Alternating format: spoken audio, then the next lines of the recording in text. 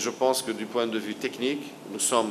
prêts. Du point de vue commercial et du point de vue charge d'investissement, je pense que fin 2016, ça serait euh, un temps normal, ou début 2017, plutôt la deuxième moitié de 2016, serait un temps, euh, le temps normal de lancer la, la 4G. Une fois que la 3G, la couverture de la 3G sera nationale,